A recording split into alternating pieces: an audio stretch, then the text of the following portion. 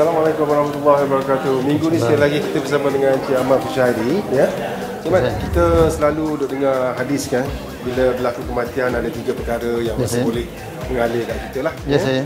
Ah, doa daripada anak yang soleh, ilmu yang kita ajar dan dipergunakan dan juga sedekah jariah semasa kita hidup ya. Ya saya. Dan benda sedekah jariah ni boleh diadakan, diuruskan, dimulakan di amanah raya. Di amanah raya. Bagaimana ya. cara? Ya saya.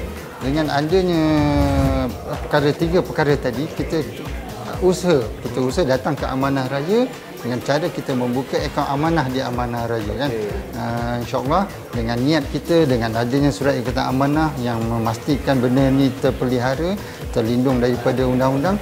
Jadi amanah raya akan uruskan niat tadi. Dengan adanya niat tadi amanah raya akan laksanakan sehingga selepas kematian kita. Hmm.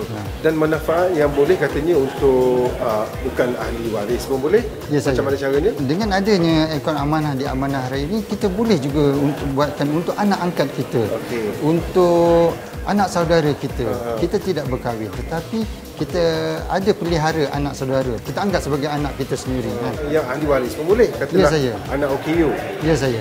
Ha, jadi dengan adanya akaun amanah ni jika kita ada anak istimewa, ada anak OKU, kita boleh pastikan bahawa uh, perkara ini dapat dilaksanakan sehingga selepas kematian kita. Kalau macam ni, macam, macam kalau saya, saya nak Hmm. macam sebahagian daripada harta nanti yang kalau saya meninggal, tiap-tiap bulan tu pergi ke tahfiz. Ya saya. Boleh buat macam tu? Ya, uh, perkara ini boleh dilaksanakan dengan maksudnya kita maktubkan di dalam surat kita amanah. Ya.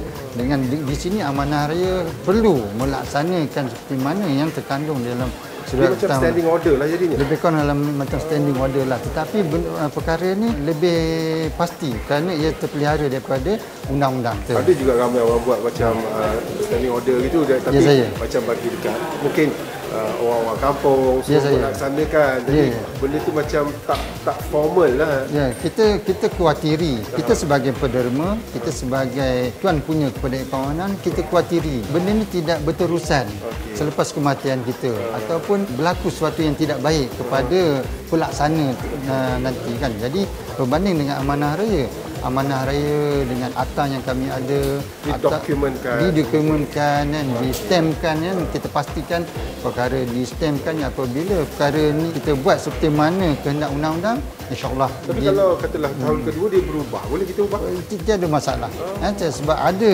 klausa yang membenarkan perubahan ini dilakukan yang kita maktubkan di dalam surat ikatan amanah tadi selagi tidak berlaku kematian selagi kita ya selepas Selagi kematian hidup. ni ah, tidak tak boleh buat apa-apa lah kan ha. Baik, terima kasih banyak Cik Mat Ya, saya. ya. Itu saja masa yang kita ada untuk minggu ni ya mengenaan dengan pelaburan akhirat Ya, saya. insya-Allah. Jadi Assalamualaikum warahmatullahi wabarakatuh. 到现在。